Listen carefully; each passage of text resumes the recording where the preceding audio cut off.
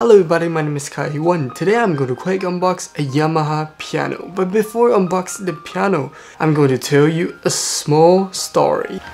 See this? Casio piano. So this is my old, old piano. It's already 10 years old, over 10 years old. We bought this when I was just a kid. So why we are going to buy a new one? Because, because some keys are broken.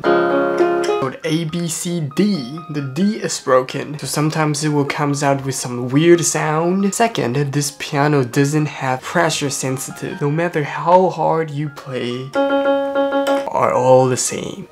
So right now I'm going to bring in my new piano buddy. Okay, so this is the Yamaha Piaggero NP32. Let's just do a quick unboxing and see what's inside.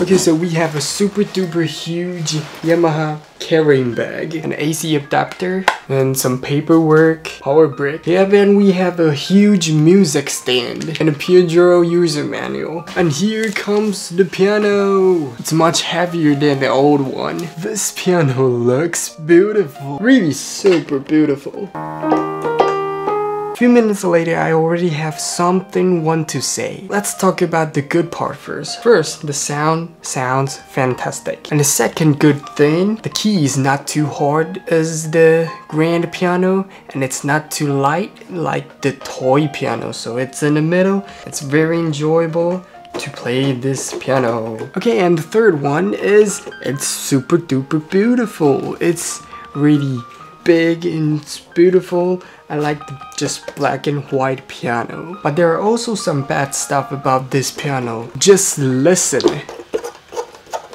When you're playing the piano, this plasticky key will just keep squeaking. And the second bad stuff, it's also the key, but I don't know is that bad stuff or all the keyboards will sound like this when you press a little bit harder it will comes out some really loud plastic sound. Yeah, but overall I think this is beautiful, playable, and beautiful piano. It's very good, enjoyable, fun to play piano. Okay, so this is the end of this Yamaha piano unboxing video. So if you like this video, press a like, make sure you subscribe on my YouTube channel.